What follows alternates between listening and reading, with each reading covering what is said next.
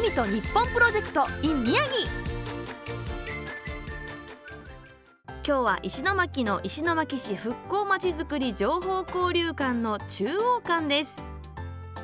昨年オープンしたこちらの施設は町が繁栄を極めた昭和の時代から東日本大震災今後の復興計画まで貴重な写真や映像模型などを駆使して石巻の歩みを紹介しています。館長を務めるイギリス人のリチャードさんは石巻に住んで23年。以前は石巻専修大学の教員を務めていらっしゃいました。震災を経験して自分にできることはないかという思いからバイリンガルとしてこの施設の館長として世界に石巻を発信しようと決意しました。まあふるさとになってしまったんですね。もう長くなって。